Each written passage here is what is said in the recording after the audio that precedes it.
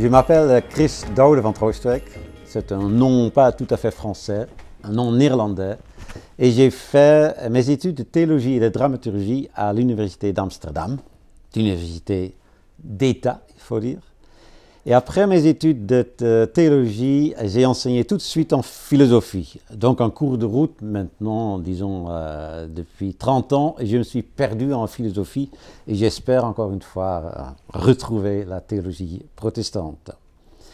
Et donc dans ce cadre de, mon projet de philosophe, euh, j'ai trouvé un travail un peu atypique au Luxembourg.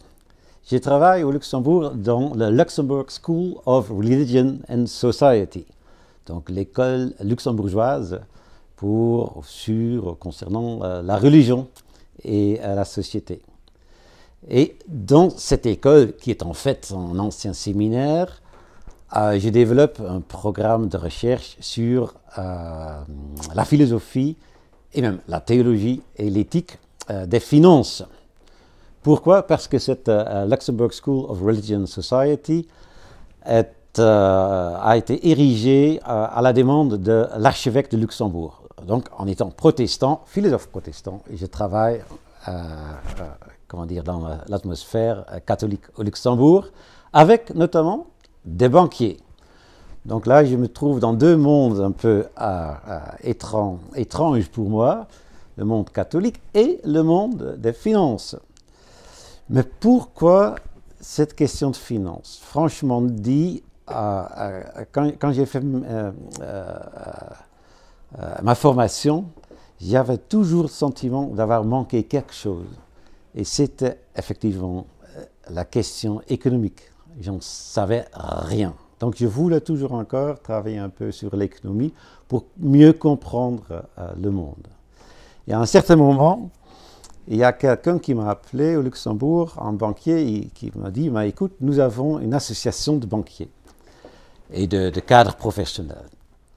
Euh, on aimerait t'inviter une fois pour, pour faire une conférence sur la question simple, la question de savoir mais qu'est-ce que c'est l'argent? Bon, cette question en tant que telle m'a beaucoup inspiré en fait, parce que moi, je ne sais pas qu'est-ce que c'est euh, l'argent, et j'espérais d'apprendre un peu plus de, ces banquiers, parce que c'est quand même euh, leur métier.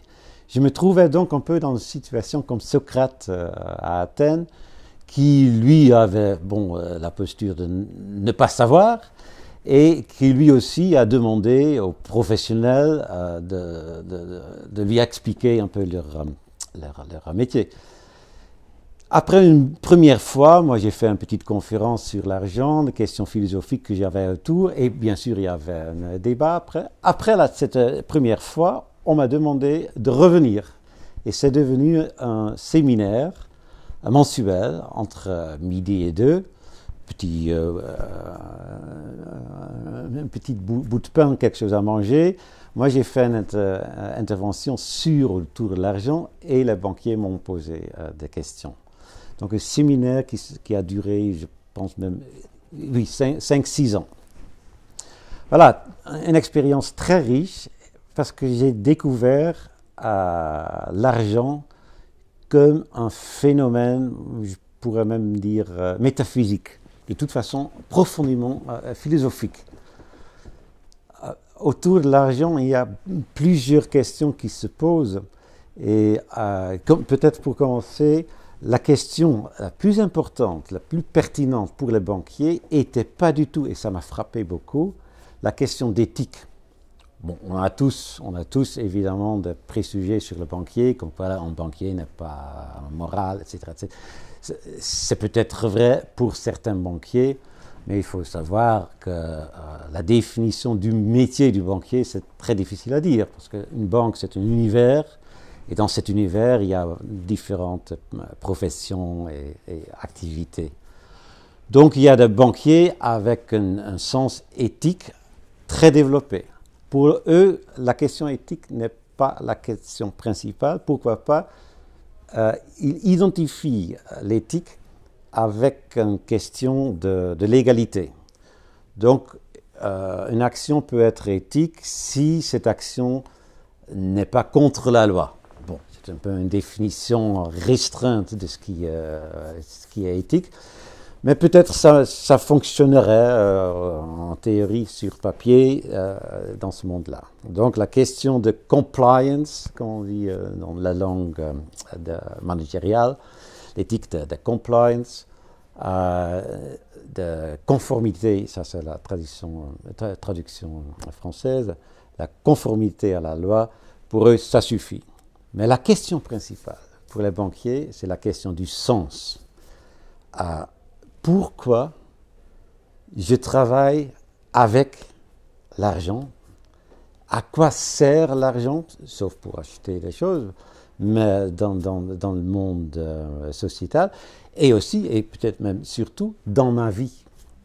Est-ce que l'argent est une, comment dire, une option, une possibilité de donner sens à ma vie, à la vie euh, sociétale, ou est-ce que l'argent fait obstruction à tout ce qui est sens? Bon, donc j'ai travaillé euh, dans, cette, euh, cette, perspective, j'ai travaillé un an sur la question de savoir qu'est-ce que c'est le sens de l'argent. Et franchement dit, jusqu'à présent, je ne sais pas encore.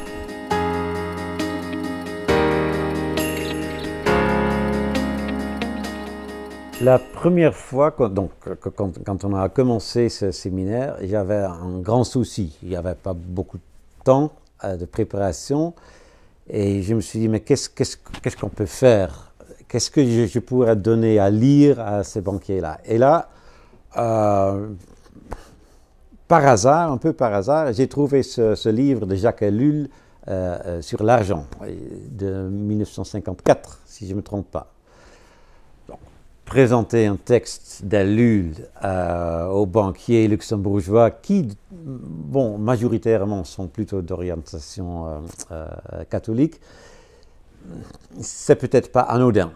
Et à ma grande surprise, ils étaient très intéressés par, par, par, cette lecture et tout ce qu'Allul essaie de, de, dériver ou de, de tirer des textes bibliques et surtout parce qu'à la fin du livre, elle dit quelque chose comme, bon, la définition de l'argent, je n'ai pas encore trouvé, une éthique de l'argent basée sur la Bible, bon, c'est difficile à faire, mais ce que moi j'ai appris moi-même, c'est que l'argent est une puissance. Pour les banquiers, c'était quelque chose, et surtout pour moi, en étant philosophe, c'était une clé et c'est avec cette clé que j'ai commencé mon projet de recherche, donc euh, Philosophies, Theologies and Ethics of Finance. Pourquoi? Parce que euh, théoriquement, euh, on prend, on a tendance à prendre l'argent comme un outil, à comparer avec un marteau ou pourquoi pas une arme ou quelque chose comme ça. Et avec l'argent, croit-on, on peut faire quelque chose à savoir, on peut acheter. Donc l'argent est un outil, c'est-à-dire que l'existence de l'argent est secondaire, est toujours provisoire, parce que derrière l'argent, il y a l'objet, on trouve l'objet euh, voulu. Et donc une éthique de l'argent se développe toujours, ou normalement, à la base de ce modèle-là, euh, et la question euh, se pose de savoir quoi faire avec l'argent. Maintenant, avec Ellul, c'est un peu différent. Parce que si l'argent est une puissance, la question éthique ne serait pas tellement de savoir quoi faire avec cette puissance. Parce qu'une puissance, c'est une force ou une source ou une présence qui fait quelque chose avec nous. Et donc l'éthique, la question éthique, ça devrait être euh, inversée et plus, c'est plutôt la question de savoir comment se comporter, comment se rapporter, se relater à cette puissance qui, qui nous travaille, euh, de l'extérieur, mais aussi bien de, de l'intérieur. Donc, comment trouver un rapport sain à l'argent, à cette sphère euh, monétaire?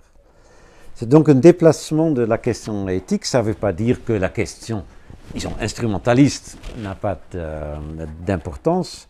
Évidemment, il faut bien réfléchir à quoi faire avec l'argent. Est-ce que je vais investir, oui ou non, dans le monde disons, euh, de, l'armement ou, euh, est-ce que je veux investir plutôt dans des choses écologiquement euh, responsables, etc. C'est très important. Mais la première question pour moi est de savoir comment survivre ou comment continuer à vivre dans cette sphère monétaire qui détermine tout dans notre réalité.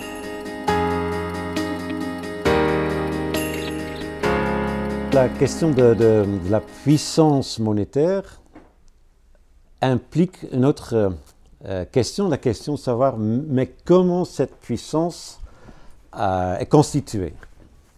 Parce que l'argent, en fait, c'est rien d'autre qu'une convention. Euh, c'est déjà Aristote qui, a, suggéré ça. C'est une convention et, pas une puissance naturelle, pour ainsi dire. Donc, qu'est-ce qui fait que l'argent euh, puisse être euh, une puissance? Euh, Bon, tout simplement, c'est la croyance collective. L'argent fonctionne parce que nous voulons croire à, l'argent comme étant quelque chose. Et c'est aussi une question que je pose très souvent aux banquiers. Euh, je sors donc un billet de 5 euros. Pour, eux, normalement, c'est rien, mais quand même, ça a une certaine valeur, mais c'est du papier.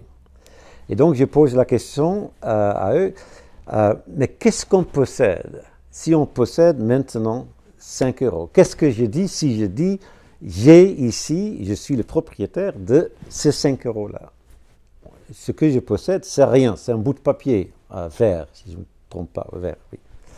Je, je, possède rien, je possède une promesse ou une option qui va se réaliser euh, dans l'échange.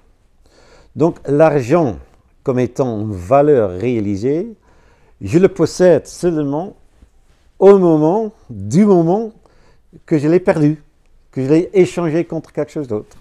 Donc je possède l'argent dans son absence, pour ainsi dire c'est un paradoxe. Et c'est un, paradoxe très important parce que ça explique un peu la puissance de l'argent. C'est-à-dire que pour posséder de l'argent, je dépends d'autres personnes qui vont accepter mon argent à leur tour comme quelque chose qui pourrait avoir une valeur. Donc pour, posséder de l'argent, il faut que moi-même j'appartiens à une communauté des gens qui veulent croire comme moi à l'argent. Encore un peu plus précise, euh, précisément, euh, pour posséder l'argent, il faut que moi j'appartienne. Pour posséder, il faut que j'appartienne. Et là, il y a une, certaine tension. Parce que, comment dire ça, la, possession, la propriété est le résultat d'une appropriation. C'est un mouvement euh, vers le sujet, égo, égo, euh, pétale, si on veut. Pour pouvoir euh, appartenir à une sphère collective, c'est un tout autre mouvement. C'est plutôt un mouvement de, de se laisser aller, de, peut-être même de soumission. C'est égo fugal, si on veut. Comment penser ensemble, comprendre ensemble le résultat d'une appropriation qui est en même temps, ou qui dépend en même temps d'une appartenance? Là, il y a une tension. Et où il y a une tension, c'est-à-dire quelque chose qui, qui, ne coïncide pas euh, au niveau du concept, de toute façon, où il y a une tension, il y a quelque chose comme une vie, ou comme une force, ou une, une frustration, de tout paradoxe, c'est une frustration en fait. Et donc, potentiellement une puissance, quelque chose qui nous fascine. L'argent est là et en même temps, je me méfie de l'argent que j'ai dans mon porte-monnaie. Donc, vouloir avoir l'argent est toujours accompagné d'une certaine crainte ou une certaine inquiétude. Et c'est ça le, nœud, la, source de la puissance monétaire.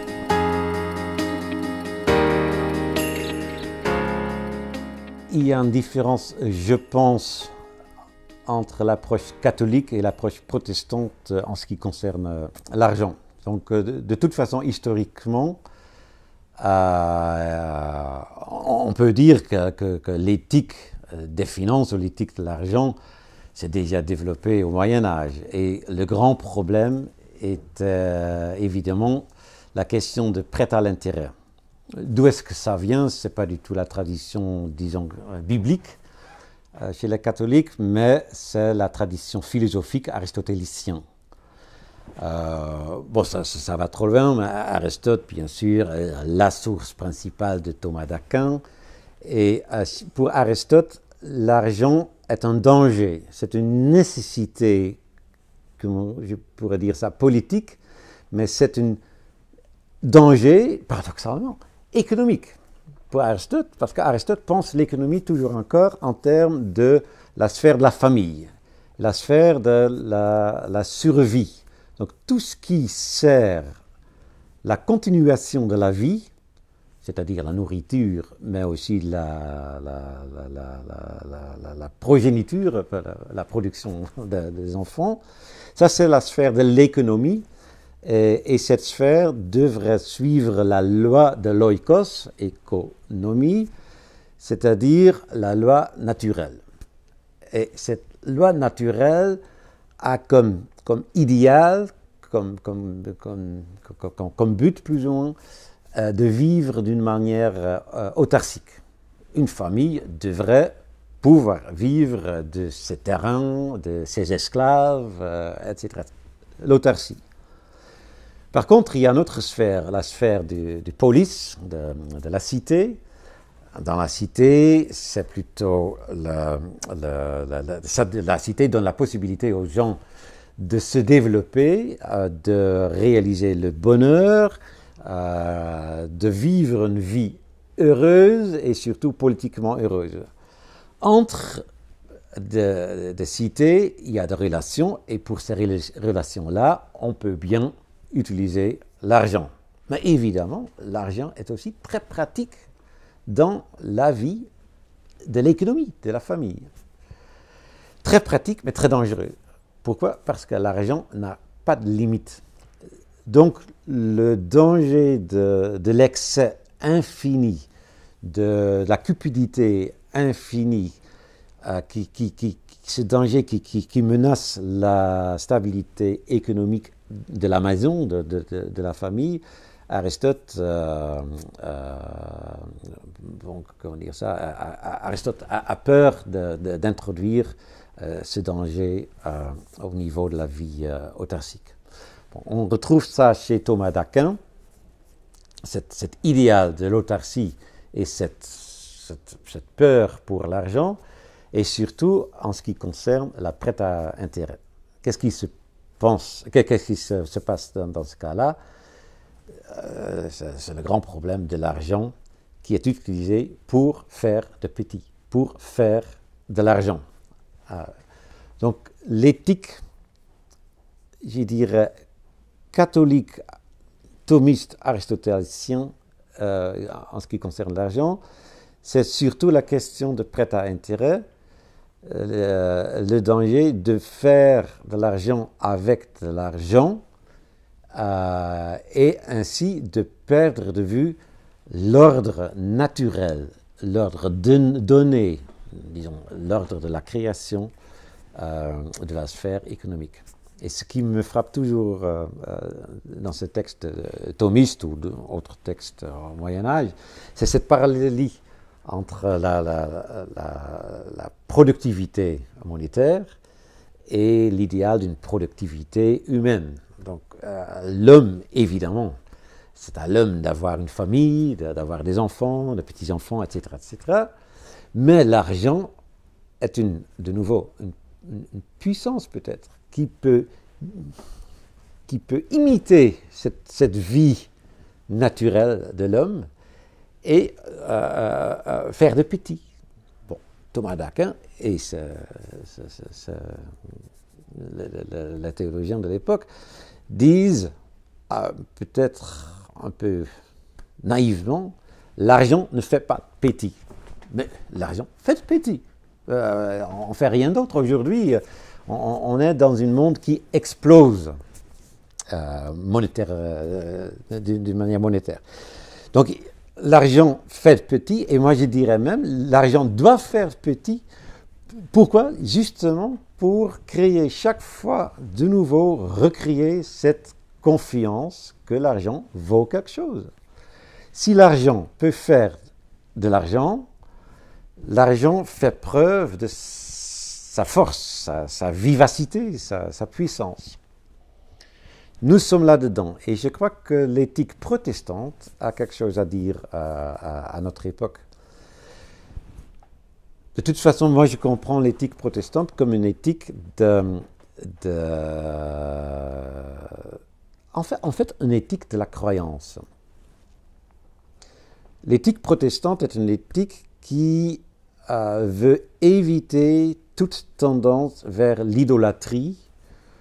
Euh, et on pourrait dire, avec elle l'éthique protestante, c'est une éthique de profanation. Donc, si l'argent est un objet qui demande la croyance, on pourrait dire une croyance constitutive, en même temps, cette croyance demande une éthique du croire qui serait une éthique de profanation, parce que de temps en temps, il est très important de profaner la puissance monétaire. Et là, il y a un risque, il y a un grand risque. Le grand risque, c'est de tomber dans un manichéisme, dans un pur, purisme euh, protestant, comme quoi l'argent, c'est le diable, c'est le côté noir de l'homme, il faut faire sans argent et tout ça. Nous ne sommes pas des saints, euh, je dirais, euh, sur la terre. Il, faut, il faut croire à l'argent, sinon ça ne fonctionne pas. Donc, chacun de nous croit à l'argent. La question est de savoir jusqu'à quel niveau, où, poser les limites. Et ça, c'est peut-être une approche protestante. C'est une euh, grande question parce que on a perdu la croyance ou l'évidence d'un ordre naturel. On ne sait plus euh, où sont les limites dans la nature, euh, peut-être pire encore, on ne sait même plus qu'est-ce que c'est la nature, parce que nature, culture, euh, il n'y a pas tellement de différence. Mais ce qu'on pourrait dire, c'est si l'argent sert la vie, on est encore à l'intérieur des limites. Si l'argent ne sert plus la vie, on, est en terrain euh, dangereux. Et peut-être je peux faire une petite réflexion euh, préliminaire. Parce qu'avec cette notion de, puissance, l'argent comme une puissance, il y a une autre euh, question qu'il faut se poser. On dit donc, la, définition classique des économistes sur l'argent est triple. D'abord, l'argent, on a déjà vu, l'argent est un moyen, moyen de paiement. Mais pour être un moyen de paiement, l'argent est aussi un support de valeur. Et finalement, l'argent est une mesure de valeur. Bon, ces deux, deux, aspects, l'argent est un support de, valeur et l'argent est une mesure ou l'unité de valeur, sont très problématiques. Commençons avec le support de valeur. Donc, si moi je dis, j'accepte l'argent de quelqu'un, un bout de papier qui, en tant que tel, intrinsèquement, n'a aucune valeur, j'apporte une croyance à ce support-là. Et je dois croire que cet argent a de la valeur parce qu'en principe, je veux collectionner de l'argent pour l'avenir. L'avenir, mon avenir, est toujours un avenir incertain. Vivre veut dire qu'on vit toujours un peu trop longtemps. On vit toujours un peu, comment dire, au-delà de la limite de notre propre mort donc on collectionne l'argent parce que l'avenir est incertain. On, est un peu comme euh, Scrooge Marley ou comme, comme l'avare euh, chez vous, Molière. Donc on, veut collectionner l'argent parce qu'on a peur de l'avenir, on veut euh, être certain, se sécuriser de l'avenir, et, ça au-delà de la limite de la mort. Donc effectivement, dans l'argent, il y a quelque chose, dans la croyance monétaire, il y a quelque chose qui dépasse la limite de la vie humaine. Euh, jusqu'à où hein? Pourrait-on par exemple dire, bon, euh, c'est acceptable d'épargner de, l'argent, d'économiser de, l'argent, euh, compte à banque, jusqu'à un certain niveau? Je pense que oui. si on a 60 euh, ans, on pourrait dire, bon, statistiquement, on a encore 25 euh, ans à vivre, quelque chose, comme ça. Bon, nous ne sommes pas calvinistes, non, on va donner 50 ans encore, 50 ans, ok, et les riches veulent être riches, pas de problème. Euh, un, bon riche, il a besoin de quoi? Disons un, million d'euros par an, pas de souci. Un million euh, fois 50, on a un certain montant. Et avec ce montant-là, on a posé une limite, une limite à la richesse. Euh, maintenant, effectivement, est-ce que c'est un million par an, c'est moins, c'est plus? Ça se discute encore. Mais on peut s'imaginer, dans le cadre de la fonction de l'argent comme sécurisons l'avenir, même au-delà de la mort, on peut s'imaginer euh, une, vision qui limite la richesse et qui, pose des limites à l'argent. Il y a un autre problème, et ça c'est le deuxième euh, aspect, ou en fait le troisième aspect de la définition. L'argent est la mesure de valeur et l'unité de valeur. Le grand problème de l'argent, c'est que l'argent se mesure d'une manière autoréférentielle. Donc l'euro euh, se mesure en termes de dollars, le dollar se mesure en termes de yen, le yen se mesure en termes de l'euro, etc., etc. Donc ce boucle est infini. En fait, ce boucle doit être, ne peut être qu'infini si on reste dans la sphère de, de chiffres, de l'abstraction. L'argent est une abstraction. Mais là aussi, il y a quelque chose à, faire, quelque chose à, travailler. Parce que l'argent fonctionne et est une puissance dans la mesure où nous sommes prêts à l'accepter et à le considérer comme une propriété. Donc on ne peut pas penser l'argent sans penser en même temps le, verbe d'avoir. Qu'est-ce que c'est posséder? C'est-à-dire que dans l'argent même, il y a toujours une référence à quelque chose d'autre que l'argent, c'est-à-dire il y a une référence à la vie réelle, la vie de celui qui est propriétaire. Et là, on retrouve cette notion de, la vie, euh, la vie qui, qui s'auto-transcende euh, au-delà de la limite de la mort, mais il y a quand même des, euh, limites à poser. Et, donc la seule manière de, limiter la force autoréférentielle, cette puissance autoréférentielle de l'argent, c'est chaque fois de poser la question de, disons, l'économie réelle. pourquoi l'argent?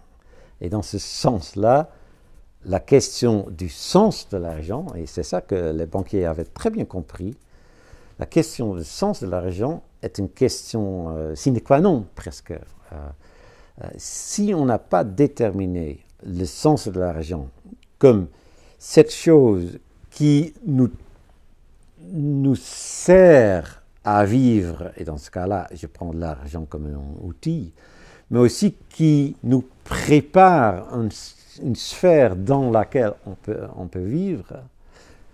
Sans cette notion de sens, euh, l'argent euh, va être notre pire ennemi. Et même l'ennemi qui va, bon, peut-être terminer l'humanité sur cette terre. Cette question de, l'éthique de l'argent, c'est une question très pénible pour moi. Si on prend la théorie des économistes classiques, très discutable du point de vue euh, historique d'ailleurs, C'est-à-dire que l'argent est une solution euh, qu'on a trouvée sur le marché parce que le troc, bon, ça prend trop, de temps, beaucoup trop dépendant d'autres personnes. voilà, donc avec l'argent, on peut mieux euh, euh, régler le, trafic sur le marché. Si on prend ce modèle-là, effectivement, l'argent est un moyen secondaire provisoire parce que là derrière, il y a l'échange, le troc. Du point de vue éthique, il y a quelque chose qui se passe. Si moi, je fais le troc avec quelqu'un, euh, disons un livre contre euh, une pomme cueillie, les traces du producteur sont encore palpables, euh, visibles sur les produits échangés. Avec l'argent, il y a quelque chose qui se passe. Parce que, je dis très souvent euh, aux banquiers, pour l'argent, il n'y a pas de service après-vente. L'argent est neutre. L'argent ne laisse pas, ne, montre pas des traces de sa production.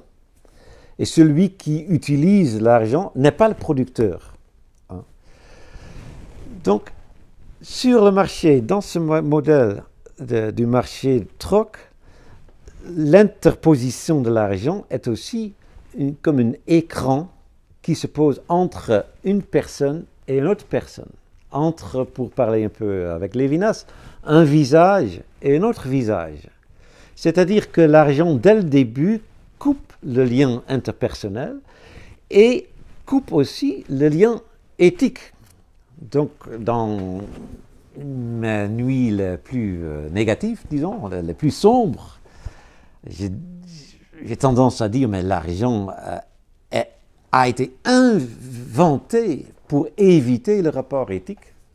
Et une éthique de l'argent n'est pas du tout possible, justement parce que l'argent dépersonnalise. Voilà.